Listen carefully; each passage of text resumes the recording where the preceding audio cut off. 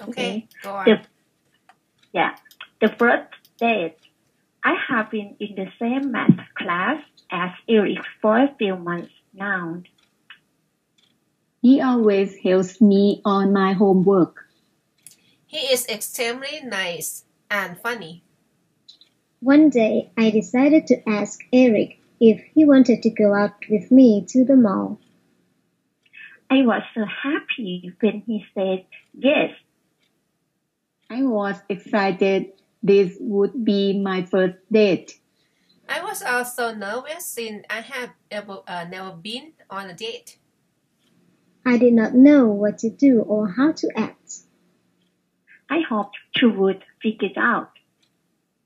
I planned our date to the minute. I wanted to be prepared and know exactly what to do. We were going to the mall on Saturday at noon. He was going to pick up uh he was going to pick me up and drive to the mall where we would get food and then shop at our favorite stores. However, when the day come, they, no, when the day came, everything went wrong. First of all, I could not find my favorite outfit that I had planned on wearing. I settled for a clean plain t-shirt and, and some jeans. He was also late because his car got a flat tire on the way to my house. I was scared about what else could go wrong.